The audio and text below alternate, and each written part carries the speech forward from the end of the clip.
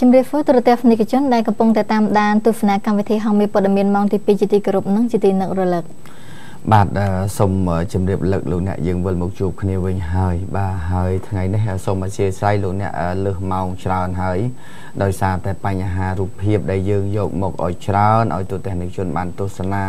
ឲ្យបានកាន់តែច្បាស់ជុំវិញអំពីលទ្ធផលនៃការបោះឆ្នោតនិងអំពើហិង្សាអីខ្លះដែលបានកើតឡើងក្រោយពេលដែលរាប់សន្លឹកឆ្នោតរួច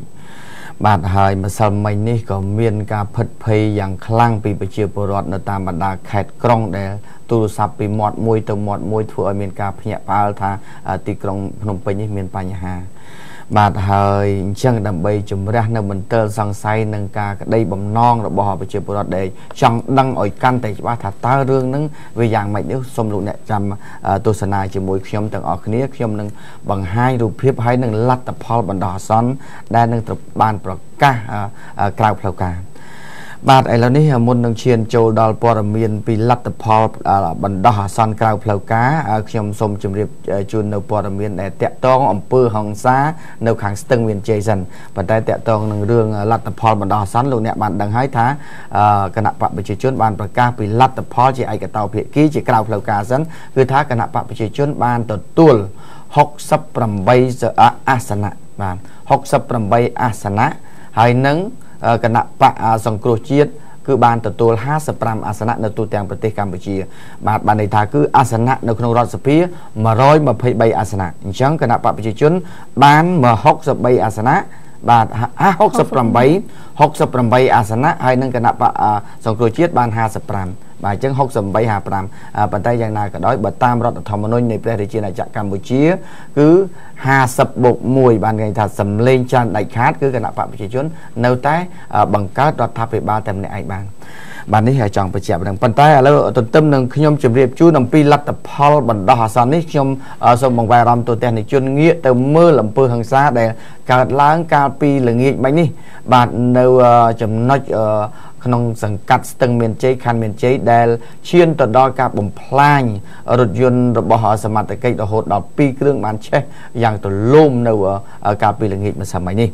បាទដោយសារតែអង្គើហ ংস ាក្រោយពេលដែលមានការរាប់សន្លឹកឆ្នោត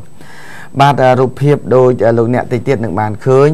ដែលខ្ញុំបានទៅយកព័ត៌មាននៅទីនោះដែលគួរឲ្យសោកស្ដាយបំផុតដែលហេតុការណ៍នេះបានកើតឡើងក្រោយពេលដែលរាប់សន្លឹកឆ្នោតក្រមយុវជនបានគប់ដុំថ្មនិងដុតបំផ្លាញទៅលើរថយន្តរបស់កងរាជវុធហត្ថរហូតដល់2គ្រឿងឯនោះកាលពីម្សិលមិញនេះបាទដល់ហើយរឿងដែលផ្ដើមចេញដែលនាំឲ្យមានអំពើហិង្សាដែលកើតឡើងបែបនេះលោកអ្នក គឺផ្ដើមចេញពីដំបូង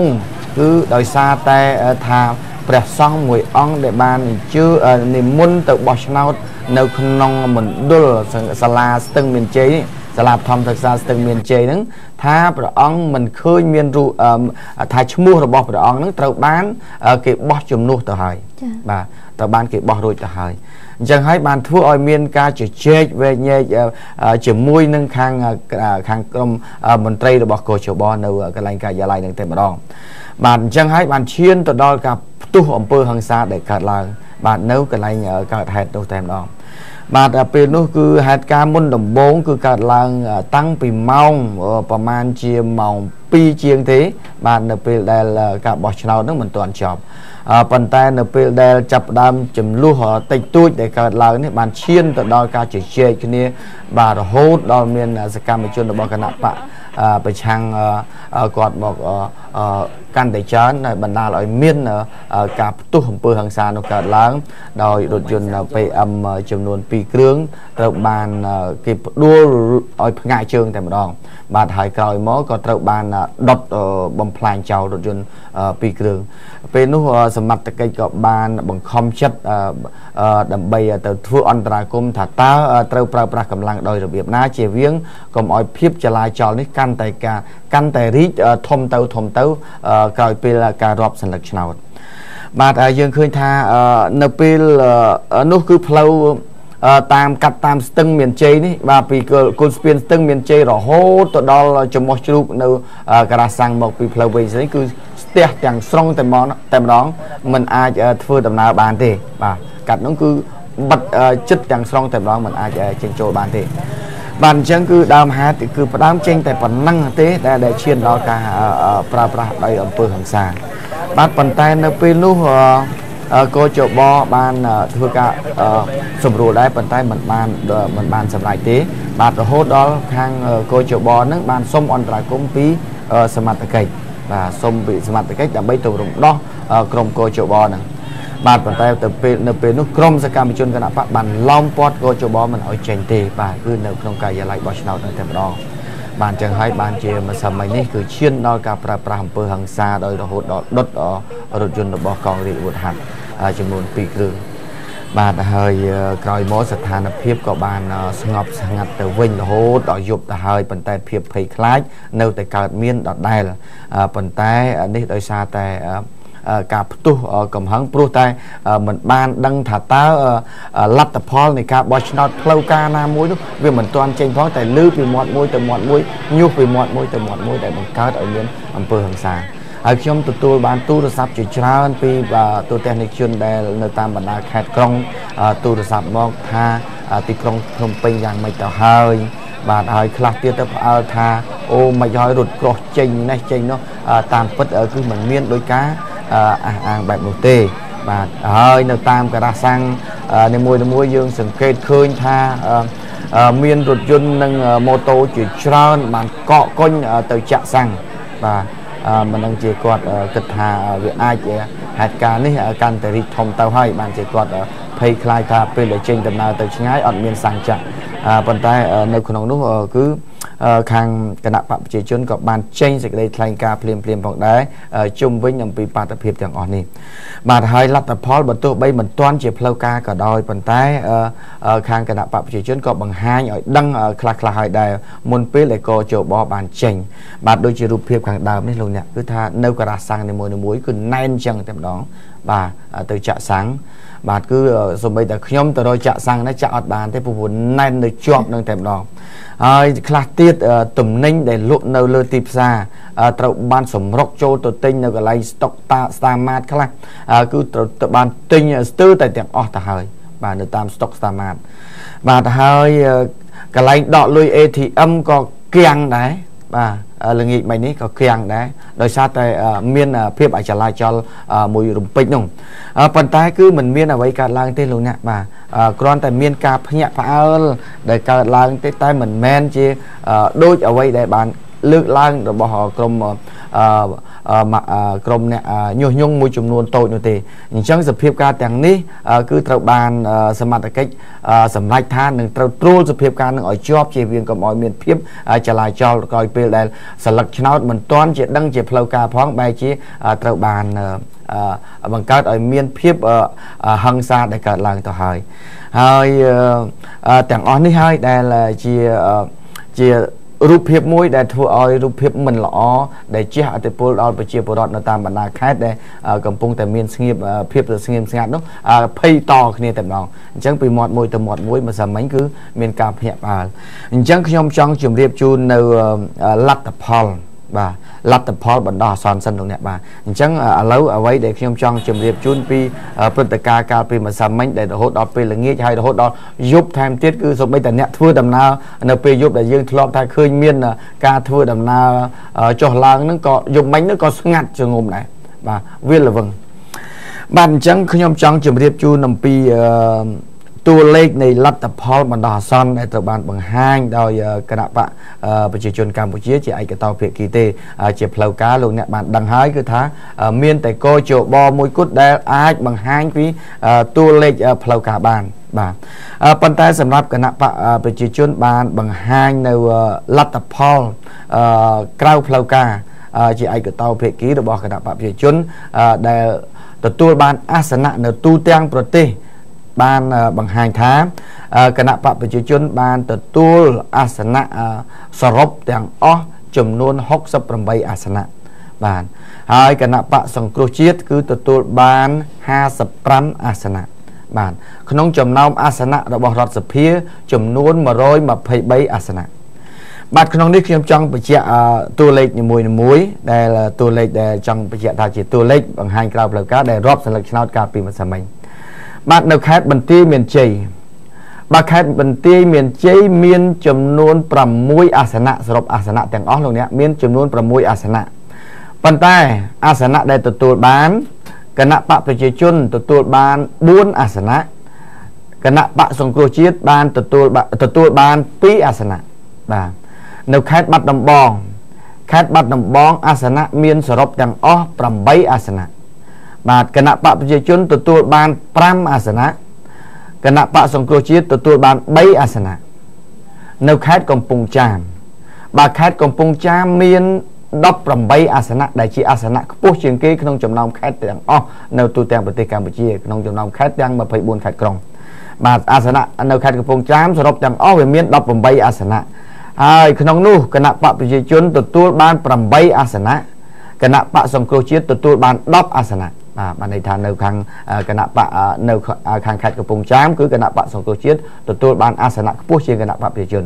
បាទបានន័យថាគណៈបកប្រជាជនទទួលបាន8អាសនៈ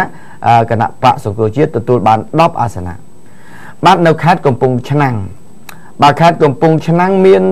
អាសនៈចំនួន4សរុបទាំងអស់ចំនួនចំនួន4ក្នុងនោះគណៈបកសង្គ្រោះគណៈបកប្រជាជនកម្ពុជាបាន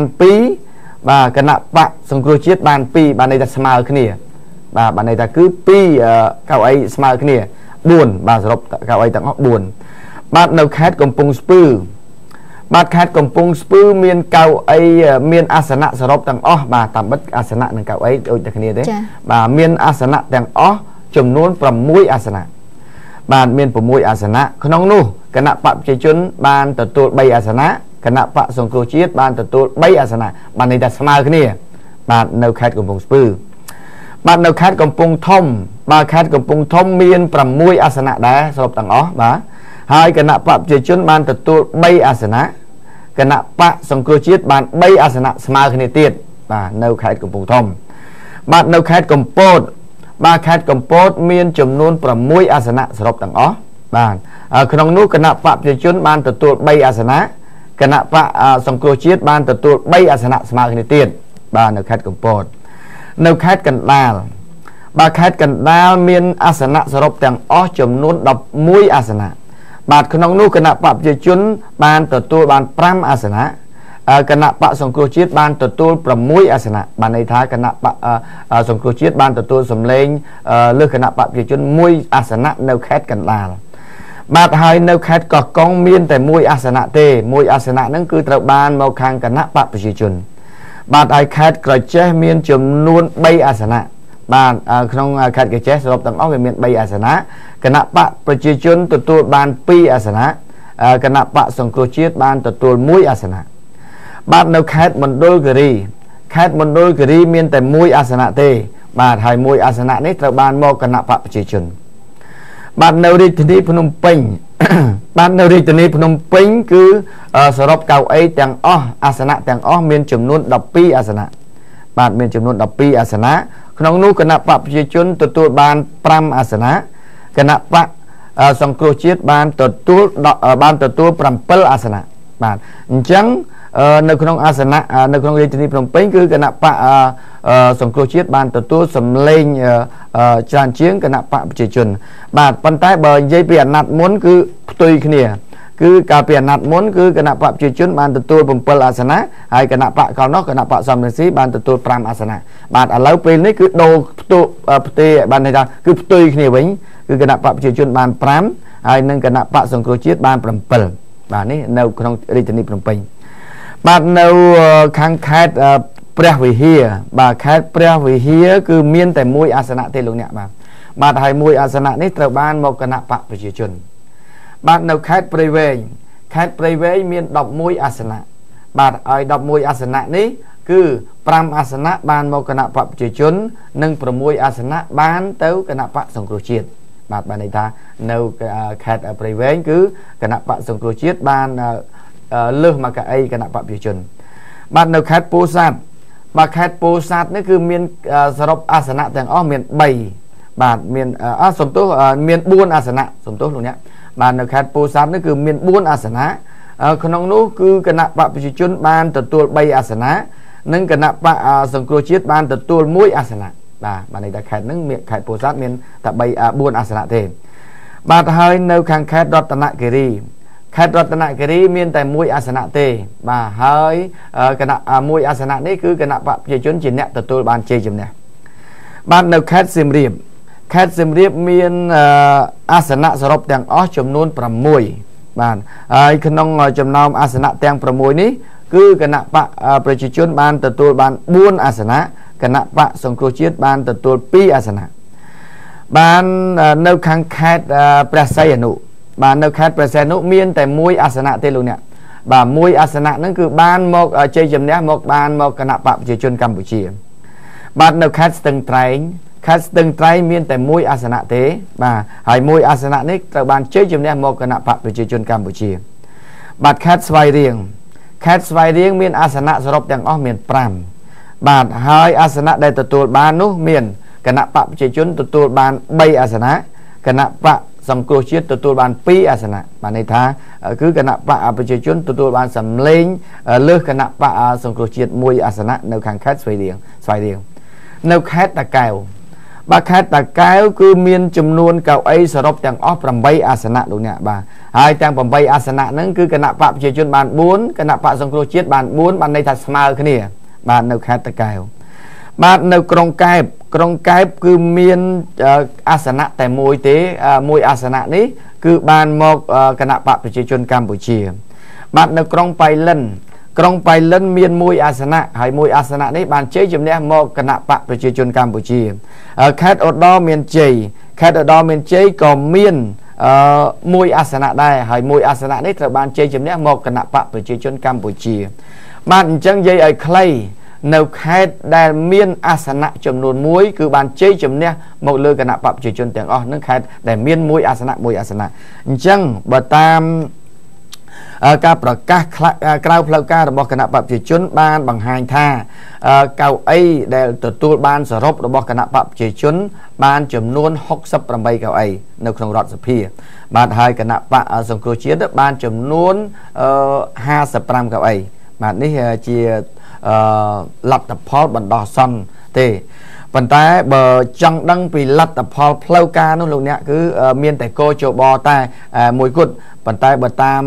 ច្បាប់ដែលបានចែងគឺកោជបបានកំណត់រួចហើយថាគោជបអាចប្រកាសលទ្ធផលជាបណ្ដោះអាសន្នយ៉ាងហោចបំផុតត្រឹមថ្ងៃទី10សីហា ដែលប្រកាសលទ្ធផលបណ្ដោះអាសន្នប៉ុន្តែបើសិនជាគ្មានបណ្ដឹងទេនោះការប្រកាសផ្លូវការនឹងប្រព្រឹត្តទៅនៅថ្ងៃទី14សីហាបាទហើយបើសិនជាមានបណ្ដឹងនៅតែបន្តក៏ដោយប៉ុន្តែការប្រកាសផ្លូវការយ៉ាងយូរបំផុតត្រឹមថ្ងៃ8សីហា បាទនេះជាការប្រកាសឲ្យដឹងដែលខាងកោជបបានបញ្ជាក់តាមរដ្ឋធម្មនុញ្ញដែលបានចែងបាទហើយសូមបញ្ជាក់ថាបើយោងតាមរដ្ឋធម្មនុញ្ញរបស់ព្រះរាជាណាចក្រកម្ពុជា គឺក្រោយការបោះឆ្នោតរយៈពេល60ថ្ងៃយ៉ាងយូរព្រះមហាក្សត្រត្រូវកោះប្រជុំបេក្ខភាពតំណាងរាស្ត្រដែលទើបនឹងជាប់ឆ្នោតថ្មីនេះ ហើយតំណាងរាស្ត្រដែលជាប់ឆ្នោតថ្មីនេះនឹងអាចចាប់ផ្ដើមការងាររបស់ខ្លួន ការងារថ្មីរបស់ខ្លួននឹងត្រូវប្រកាសសុពលភាពជាមុនសិនបាទអញ្ចឹងទេព្រះមហាក្សត្រ ត្រូវកោះប្រជុំឲ្យបានយ៉ាងយូរគឺ60ថ្ងៃក្រោយការបោះឆ្នោតបាទក្រោយការប្រកាសលទ្ធផលឥឡូវនេះលទ្ធផលបណ្ដោះអាសន្នកោជបមិនទាន់ប្រកាសបណ្ដោះអាសន្ននៅឡើយទេលោកអ្នកអញ្ចឹងបានន័យថាគឺថ្ងៃ10សីហាទើបកោជបនឹងប្រកាសលទ្ធផលបណ្ដោះអាសន្នអញ្ចឹងនៅក្នុងរដ្ឋធម្មនុញ្ញដែលបានចែងគឺថាអឺ ព្រះមហាក្សត្រត្រូវកោះប្រជុំក្រោយការបោះឆ្នោតក្រោយការបោះឆ្នោតប្រកាសលទ្ធផលនឹងគឺរយៈពេល60ថ្ងៃយ៉ាងយូរបាទអញ្ចឹងនេះជារដ្ឋធម្មនុញ្ញដែលបានចែងបាទអញ្ចឹងទេនៅពេលនេះលោកអ្នកគឺមិនទាន់មានលទ្ធផលផ្លូវការនៅឡើយទេ ដើម្បីជៀសវាងកុំឲ្យមានការសពេចសពិលដែលកើតឡើង បាទអញ្ចឹងគណៈបព្វជិជនត្រូវតែប្រកាសអំពីលទ្ធផលជាឯកតោភាគីលទ្ធផលបណ្ដោះអាសន្នជាឯកតោជាភាគីរបស់ខ្លួនជាមុនសិនបាទហើយនៅក្នុងនេះដែរគណៈបព្វជិជនក៏បានចេញនៅសេចក្តីថ្លែងការណ៍របស់ខ្លួនមួយជៀសវាងកុំឲ្យមានភាពចលាចលដែលបានកើតឡើងសម្រាប់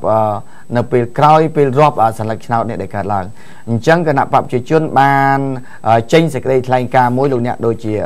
នេះគឺចេញល្ងាចមិញគឺយប់ទៅហើយ បាទដើម្បីកុំឲ្យមានភាពចលាចលដែលកើតឡើងក្រោយពេលដែលរាប់សន្លឹកឆ្នោតដែលមិនទាន់បានប្រកាសជាផ្លូវការនោះបាទនៅក្នុងលទ្ធផលដែលប្រកាសសេចក្តីថ្លែងការណ៍របស់គណៈបព្វជិជននេះបានលើកឡើងថាយោងតាមលទ្ធផលបឋមនៃការបោះឆ្នោតជ្រើសតាំងតំណាងរាស្ត្រនីតិកាលទី5នៅទូទាំងប្រទេសកម្ពុជាបានបង្ហាញយ៉ាងច្បាស់ថា គណៈបកប្រជាជនកម្ពុជាទទួលបានជ័យជំនះរហូតដល់ទទួលបានអាសនៈភាគច្រើនដាច់ខាតក្នុងរដ្ឋសភានីតិកាលថ្មី ដែលមានបរិមាណគ្រប់គ្រាន់ក្នុងការរៀបចំរាជរដ្ឋាភិបាល សម្រាប់នីតិកាលថ្មីនេះបាទគណៈបកប្រជាជនកម្ពុជាសូមសម្ដែងនៅអំណរគុណដ៏ជ្រាលជ្រៅបំផុតជូនជនរួមជាតិទាំងអស់ដែលបានបោះឆ្នោតបានបោះឆ្នោតគ្រប់គ្រងគណៈបកប្រជាជនកម្ពុជាឲ្យ ដឹកនាំប្រទេស សម្រាប់រយៈពេល5ឆ្នាំបន្តទៀតបាទគណៈបកប្រជាជនកម្ពុជាសូមអំពាវនាវដល់ជនរួមជាតិទាំងអស់សូមបន្តរក្សាភាពស្ងប់ស្ងៀមនិងណចូលរួមថែរក្សាសន្តិភាព ស្ថិរភាព សន្តិសុខសណ្ដាប់ធ្នាប់សង្គមឲ្យបានល្អប្រសើរដើម្បីបង្កលក្ខណៈ ឲ្យគណៈកម្មការជាតិរៀបចំការបោះឆ្នោត បន្តដំណើរការរបស់ខ្លួនរហូតដល់បានបញ្ចប់ជាស្ថាពរគណៈបព្វជិជនកម្ពុជាសូមបញ្ជាក់នៅជំហរដ៏ម៉ឺងម៉ាត់ក្នុងការការពារផលប្រយោជន៍ដ៏ឧត្តមឧត្តមរបស់ជាតិនិងប្រជាជនគ្រប់ស្ថានភាព និងគ្រប់កាលៈទេសៈបាទនេះជាសេចក្តីថ្លែងការណ៍របស់គណៈបព្វជិជនកម្ពុជាហើយសូមបញ្ជាក់ថា អាណត្តិមុនគណៈបព្វជិជនកម្ពុជាទទួលបាន90អាសនៈកាលពីអាណត្តិទី4បាទហើយអាណត្តិ90អាសនៈរហូតមកទល់នឹងពេលនេះគឺថាអឺ22អាសនៈហើយនៅក្នុងអាណត្តិថ្មីនេះដែលត្រូវបាត់បង់បាទអញ្ចឹងគណៈបក